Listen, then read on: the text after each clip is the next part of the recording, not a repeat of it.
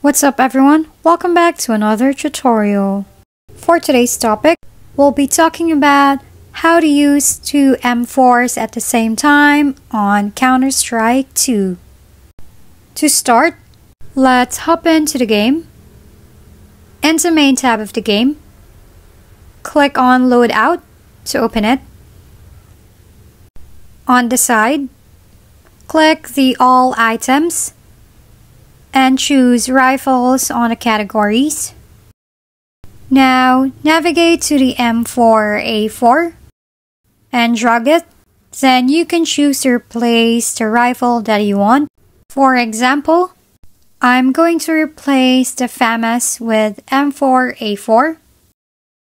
Now after doing that, navigate on the M4A1-S and drag it then place it on the rifle that you want to replace.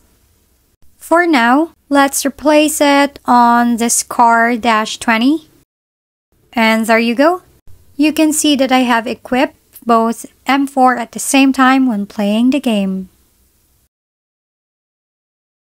If you found this video helpful, please like and subscribe. If you have any questions, drop them below and we'll see you on the next video.